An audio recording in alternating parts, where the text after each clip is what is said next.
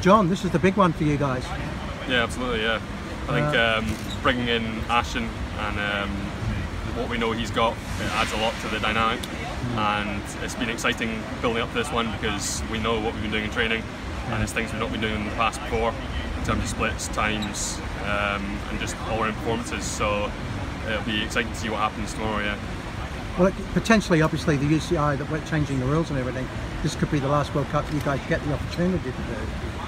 What do you guys? What do you think you guys have brought to the World Cups over the years that you've been doing it for three years? Um, hopefully, it's a fresh attitude towards it. I think um, the equipment in the arms race um, seems to accelerate a lot since this team's been around. Where how much of an influence they've had. If you look at the other bikes around the, the pits, Dan's equipment and uh, his his sort of uh, innovations are around to be seen everywhere. So he certainly had a lasting impact. Yeah. Um, in terms of like our tactics and the way we race and the long turns and some of the strategies we've used, they're being employed elsewhere. Um, and there's no way you could say, you know, any of this stuff is trademarked, but it's just interesting to see the development and how it's gone. And I think, yeah, a lot of people will have seen the influence from our team in track cycling. Well, I've never seen so many teams in the team pursuit riding so quick. I mean, when you started, what was there? Maybe three or four. Yeah, I think, um, well, especially when they were turning up for the first World Cups, if you're going under four minutes, you're doing a good ride. And now, you know, to get in the finals, you have to go 350 or, or in fact, there's now, I think there's six, six teams that have gone under 350. Right. um, which you know even just last year wasn't realistic. I mean, people were looking at the, the Tokyo Olympics and going, well, 348, the Australians are going to walk that, and now you're looking at it and going, well, like everyone's going to go 346. It's just uh, the the end point and the ceiling hasn't been reached, and uh, I'm not sure anyone quite knows where it is yet. For yourself, what has the team brought for you?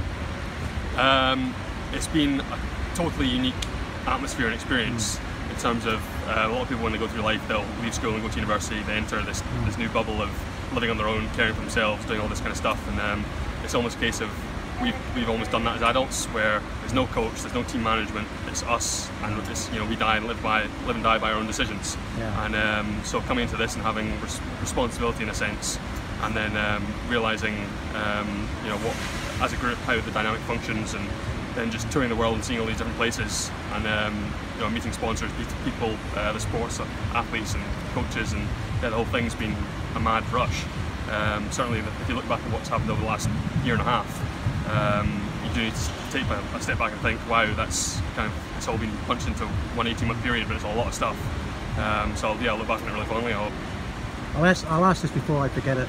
Rider of the domestic rider of the year. Alright. S- Where, where? I mean, road, track, favourite? No. uh, I think uh, yeah, it's a real privilege to get something like or be noticed for something like that. Um, I mean, it's not be all and end all. It's not something you strive for, but to have everything recognised and what you achieve, I think uh, it's a really nice touch and nice feeling. So I'm grateful for people. Well, I remember talking to you a few years ago, and you you were coming down from Scotland, and the road you were going to work on the road. Mhm. I And know. now, now, domestic rider of the year. I know. Um, I think a lot has changed since I, I last spoke to you. I remember I did the, the points race at track nationals and uh, I won that race, and it was a real shock to me at the time. And uh, I was talking about how I was joining Ribble that year, and I was going to do some Premier calendars, and I'd done one in the past and had my head kicked in, and all the whole experience was just you know out of this world. So to go down there now and feel confident about racing and not feel out of place, and as though yeah I can I can make a go of this and you know win these races.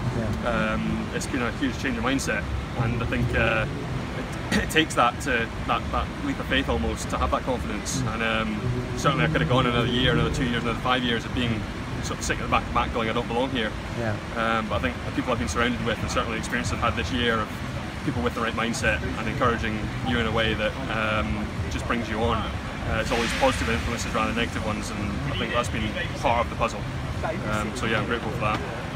Well, obviously tonight could be the highlight, but so far, what's been a highlight over the years that you've been involved in the team? Um, I think it, it, when it comes down to it, it was always um, with the team. It was always the London World Cup. So it was one we targeted all year. Um, we knew we had Ashton in for it. It was going to be the main goal was you know to win, to win that one World Cup, and then when it actually comes off and you pull it off, um, I think it's a yeah, it's a real great thing to great thing to have. Johnny was crazy eyes. You ever seen them? This is what they look like. Give them the grin. Nothing more distracting. Love you, John. Love you too, Johnny. A final question. The Aussies are here, they're on their home turf. Is that a nice little goal as well? I think so, and I think uh, they'll feel they've a lot, a lot to prove after Yeah. losing to Switzerland last week. Um, so we'll see whether that was a, a something they messed up, or whether they're not on form, or whether it's. I, I doubt it's a, an expectation that they come here to lose. Uh, they'll be they'll be here to win, and uh, it's always exciting for us as underdogs where we can go. You know what? On a good day, who knows what we'll do? And I think uh, we're in that position where we've been riding some splits where we think this could be real quick if we get it right. So hopefully, you know, we, we give people a shot. And you like this track? Because you've done Commonwealth Games here. Yeah, it is different. Um, so the it's long bends and um, not a lot of throwback from the top of the track. So like things like changes are a lot different, and even the line we're riding on the track is um, different to what we've ridden in previous World Cups. Uh, but we've been here for over a week and we've sort of acclimatised and got used to the track. And yeah, it's really nice to ride. Conditions here are rapid. Um, I think it's not just us.